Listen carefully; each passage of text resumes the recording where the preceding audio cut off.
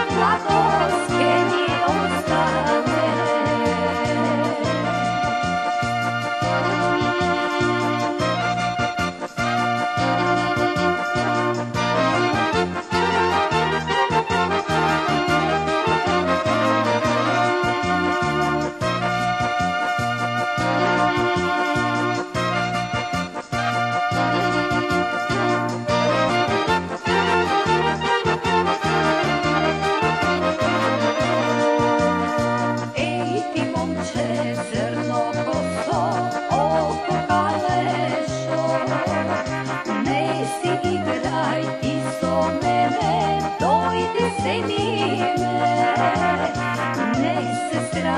sakam, da su tvoja, sakam da